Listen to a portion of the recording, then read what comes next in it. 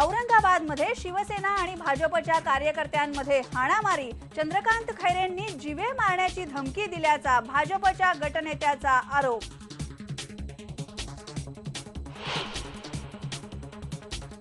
आदर्श घोटाळा प्रकरणी किरीट सोमय्यांनी केली पोलिसांमध्ये तक्रार दाखल. चव्हाण शिंदे तटकरे आणि टोपेंच्या विरोधात कारवाईची करणार मागणी.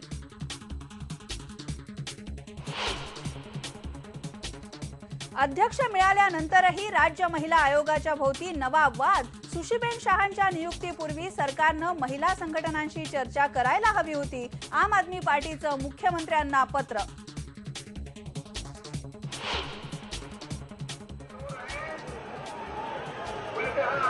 भाजपचे अध्यक्ष राजनाथ सिंग यांच्या घराबाहेर एनएसयूआयच्या कार्यकर्त्यांची निदर्शनं.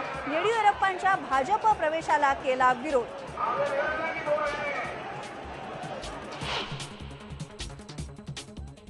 कोलकात्यामध्ये सोळा वर्षांच्या गँगरेप पीडितीनं सततच्या धमक्यांनंतर स्वतःला जाळून घेऊन केली आत्महत्या. तक्रारीकडे दुर्लक्ष केल्याचा तरुणीच्या कुटुंबियांचा आरोप मुख्यमंत्री ममता बॅनर्जींच्या विरोधात तक्रार.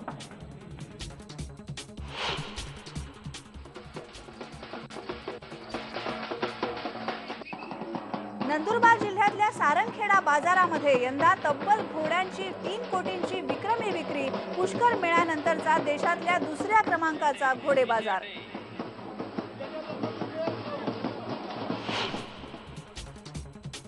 आणि न्यूझीलंडच्या कोरी अँडरसननं मोडला वेगवान सेंचुरीचा शाहिद आफ्रिदीचा रेकॉर्ड. अवघ्या छत्तीस बॉलमध्ये ठोकली सेंचुरी.